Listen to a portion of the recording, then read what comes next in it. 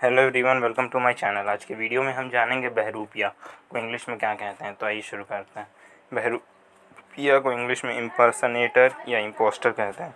इम्पर्सनेटर या इम्पोस्टर एक एग्जांपल से समझते हैं, इसे example he tried to be an impersonator but failed यहाँ इम्पर्सनेटर का मतलब है बहरूपिया उदाहरण। उन्होंने एक बहरूपिया बनने की कोशिश की, लेकिन असफल रहे। इसी के साथ आज के वीडियो में इतना ही। Thank you so much for watching my video